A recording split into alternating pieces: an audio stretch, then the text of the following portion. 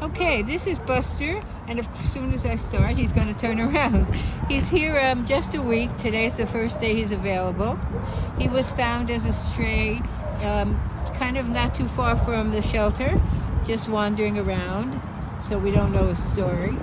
He's actually um, a very faint brindle. I thought he was gray. He, well, he is gray, but he's got some brindle in him. As you can see, somebody cropped his ears which of course you know what we think about that.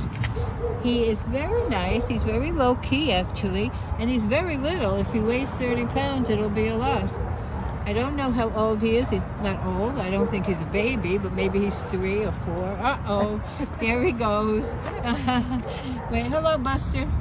See what I said? He's pretty much ignoring me. But he's real nice. I wish a dog would pass so we could see his reaction.